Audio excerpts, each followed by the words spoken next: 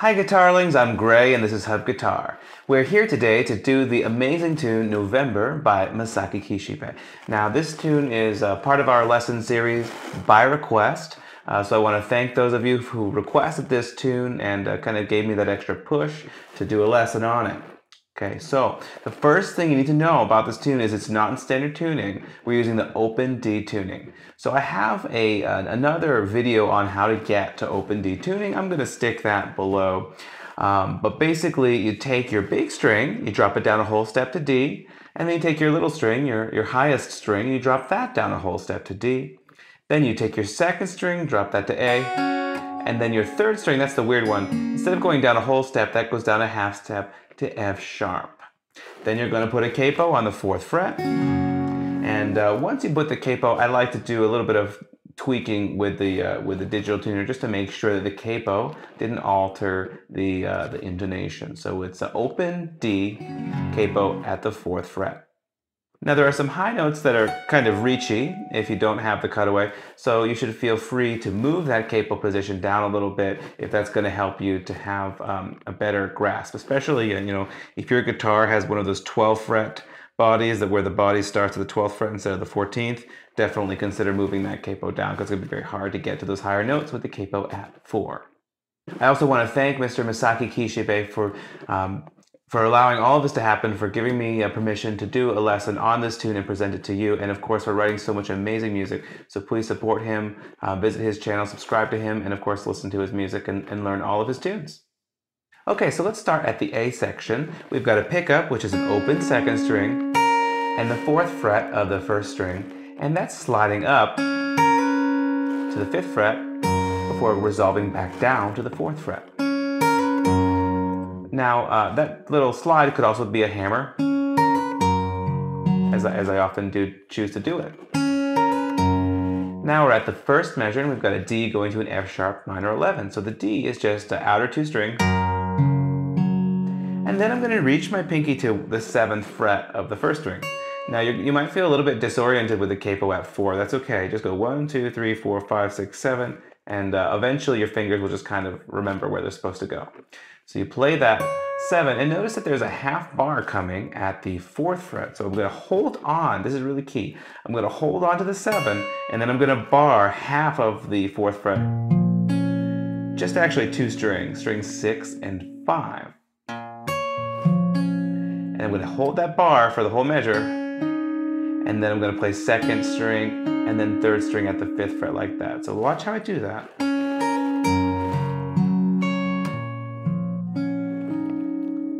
When you hear those multiple notes ringing together, that's really what gives some of the, the joy and the beauty to the solo guitar arrangement. So really um, make a faithful effort to preserve as much sustain as you can and create that effect. Now I'm going to hold on to that fifth fret for a little moment and I'm going to reach my index finger. Notice that I've got my middle finger on the fifth fret. I'm going to reach my index up to the fifth fret of the big string. And I'm actually going to hold on to that all the way till almost the end of the second measure, just to, you know, squeeze any juice I can out of it. And then I'm going to continue much in the same way. Measure three. And that's pretty much the same, but now we're going to 11 and 12.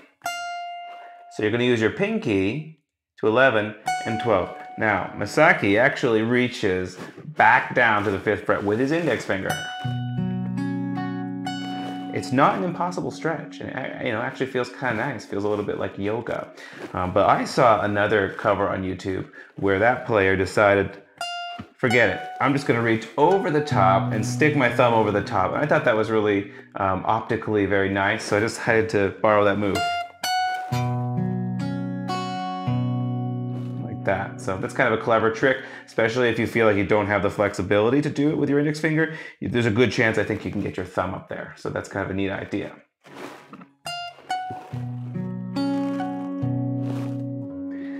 Now we're coming off of that big stretch and we're going from 9 to 11. We're going to go to 12, but we're going to get our index on the 9th fret of the big string. So now I've got some thirds, and uh, these show up in almost all of Masaaki Kishibe's tunes, um, so they're worth studying. But I'm going to start with this third shape. I've got my third finger on the 11th fret of the first string, and index finger on the 10th fret. I just move that down a whole step for another third, and then I move that down a half step. This time it's 7 and 7, so notice how my third finger kind of pulls in to share the same fret, 7 and 7.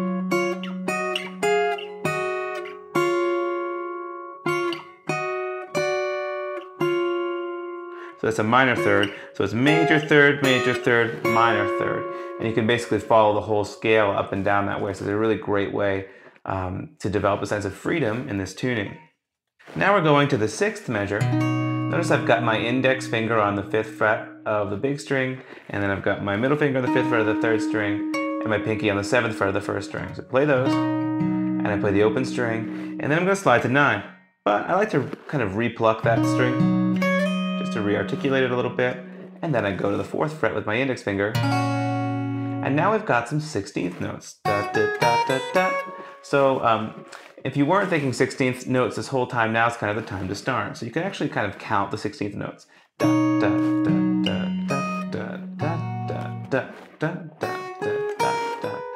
Very useful little trick.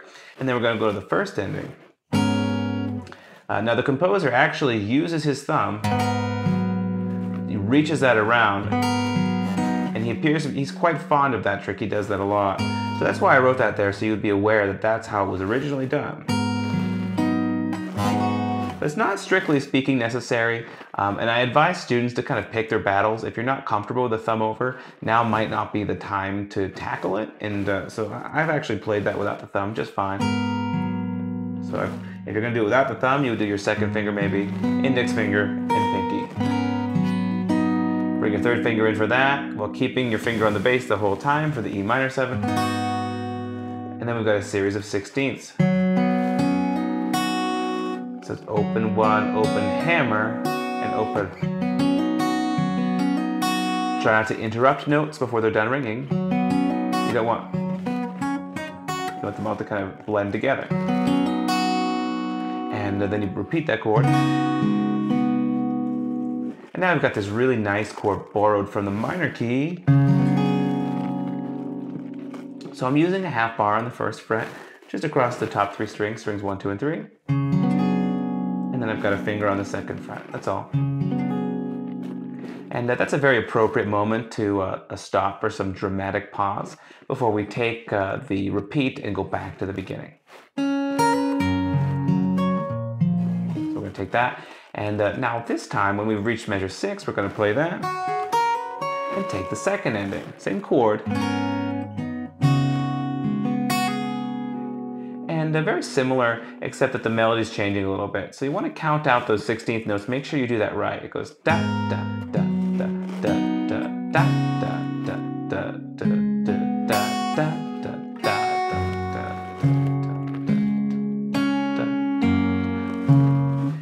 Ability to count out those 16th notes is very important because it helps you to maintain control and coherence even when you're practicing really slow.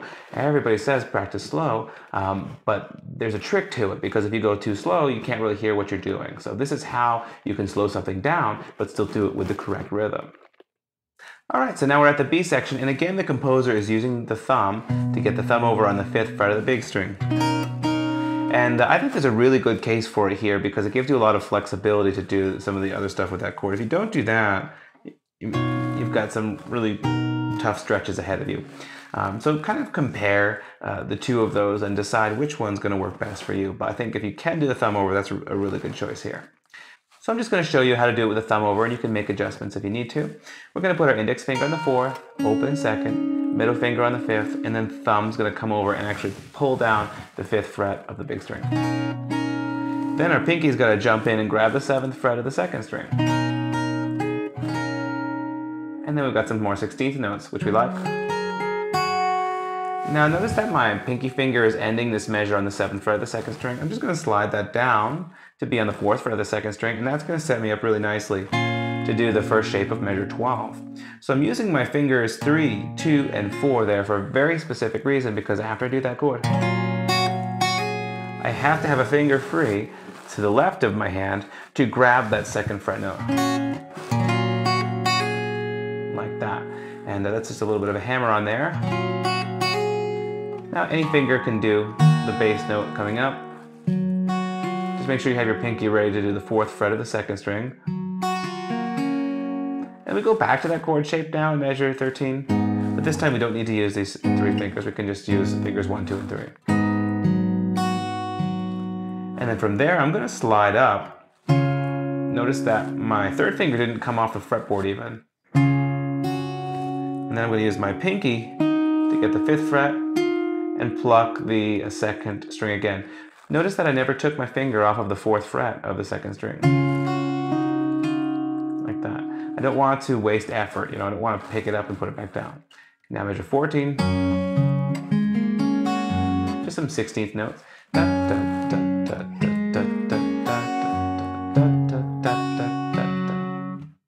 So measure 15 is uh, pretty similar to what we've done before.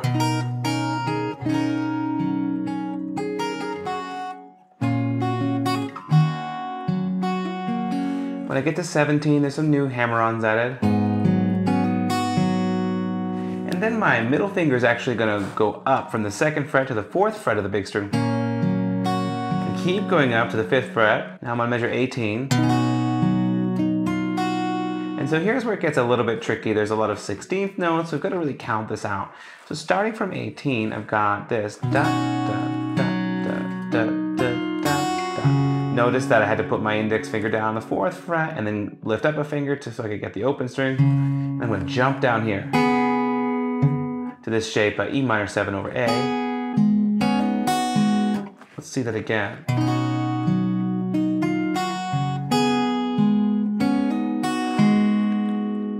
So that's a little bit tricky. I recommend you just do one measure at a time and work your way slowly through it. And then to 19, we're going to get our pinky finger now on the fourth fret of the second string. This one we want to count out carefully. Da, da, da, da, da, da, da, da. So that's a dotted eighth note, which get, has the value of three sixteenth notes. Da, da, da, da, da, da, da, da. And uh, measure 19 is actually a kind of a, a measure of a 2-4. So there's sort of a feeling that there's some missing beats there. So that, that's really interesting and it helps kind of drive uh, the song back to the top, so to the C section. All right, so now we're at C and I've got my index finger on the fourth fret of the first string. And I'm going to start adding some 16th notes, so the, the kind of pace is going to pick up a little bit. And uh, it really helps, I think, to count the underlying 16th notes here. Da, da, da,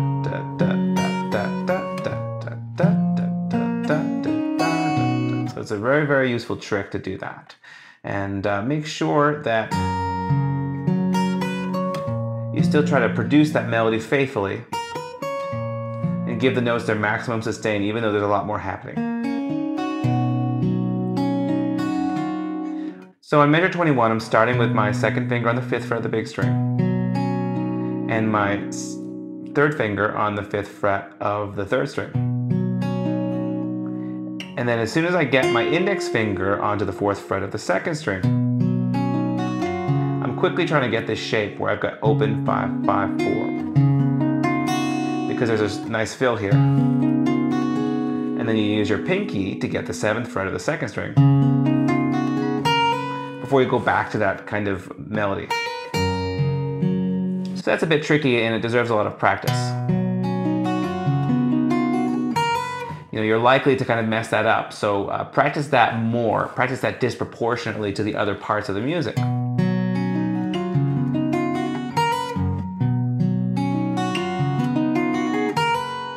Now we're at measure 22.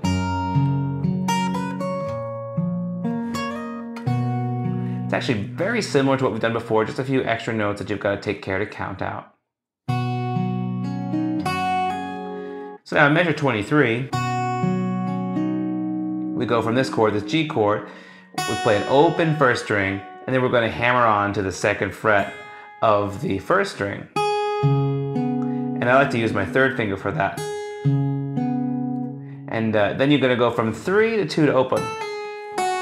So I wrote that just as a pull off. But you can actually do that as a bluesy slide where you slide from two to three and back in a, in a blink of an eye. Now we're at measure 24 and I've got my index finger on the second fret of the fifth string and I've got my second finger on the second fret of the second string. My pinky has to reach up to the fourth fret of the second string while I'm getting my index finger down to the first fret of the fifth string for the B flat. So that's a big stretch.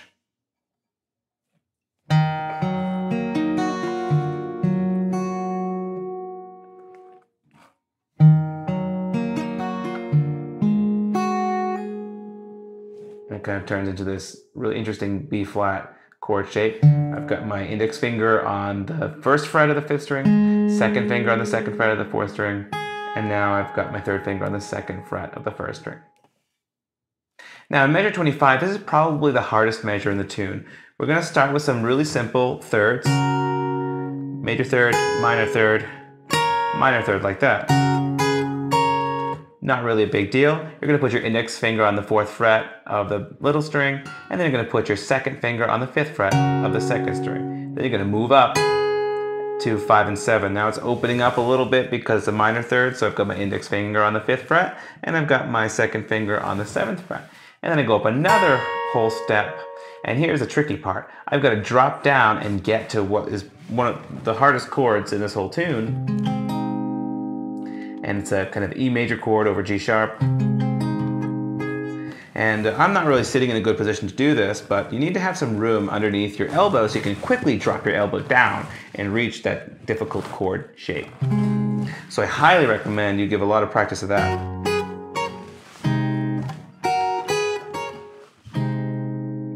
So there's a bar there across strings one, two, three, and four, and then pinky stretching all the way to the sixth fret of the big string. Pretty tricky chord. If uh, after some time of practice you're just really not getting that, that's normal. I suggest you uh, adjust it down a little bit. You can do that by taking the melody note from the second string and actually moving that to the fifth fret of the third string. And once you've done that, it's pretty easy to grab the sixth fret and the fifth fret. So you'd be like, give yourself a little pause, and kind of switch to this half bar. That's a really um, good compromise if you're struggling with that. And uh, it's really okay to do that. You know, if you were starting a workout routine today, you probably wouldn't uh, follow the routine of your favorite bodybuilder on day one because you would hurt yourself. And in a similar vein, when you're learning guitar, it's okay to adjust things up and down a little bit. In fact, it's uh, advisable to do so. And I would argue that most guitar players, in fact, maybe all guitar players, really do that in some subtle ways. They kind of adapt what they play to suit their own playing style and uh, the, the things that they're strong at. Okay, so now we're going to measure 26.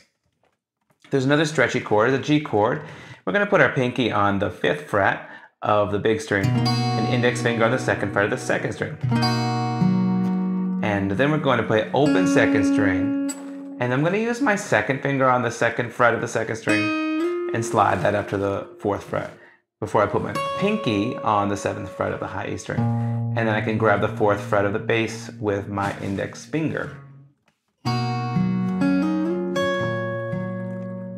That takes a little bit of practice and it feels a bit awkward at first. And then we're going to go from five to four. You can do a slide or a pull. And then we're going to some familiar stuff in measure 27.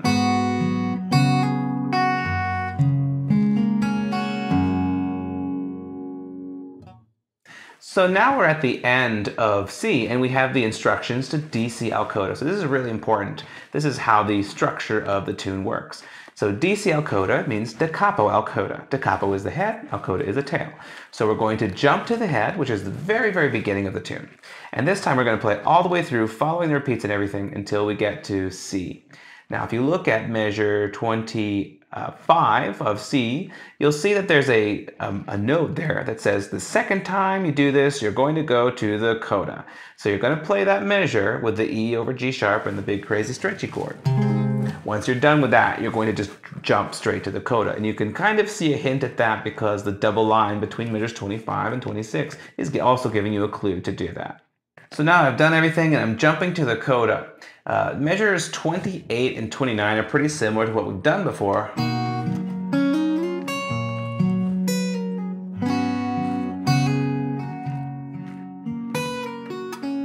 is a, a repeat there.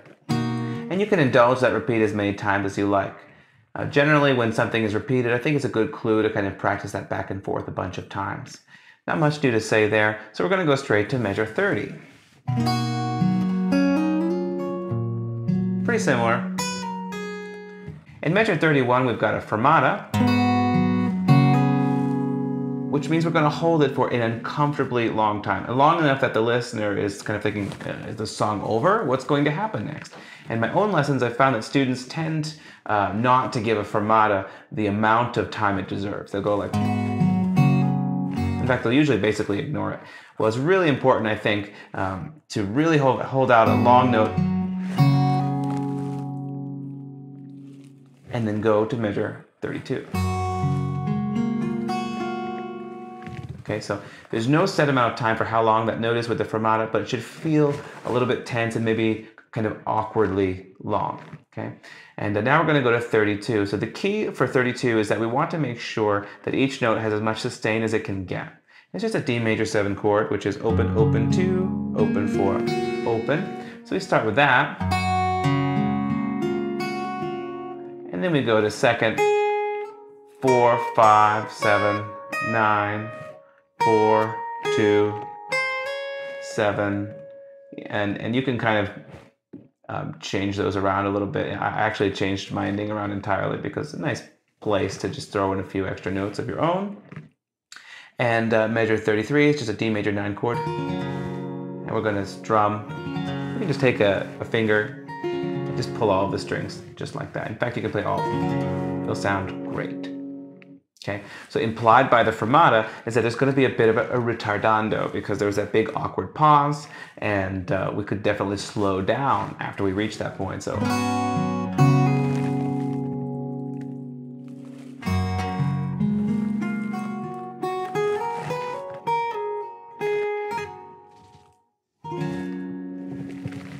I like to think of it as more of a rubato kind of moment.